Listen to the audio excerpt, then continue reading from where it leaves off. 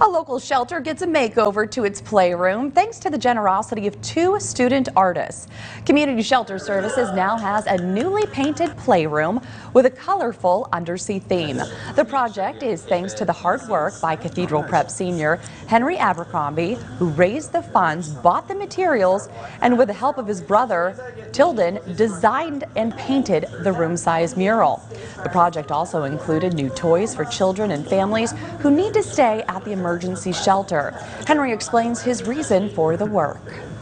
So they can learn about these sea creatures and play with toys that'll just help development and encourage play between like parents or children.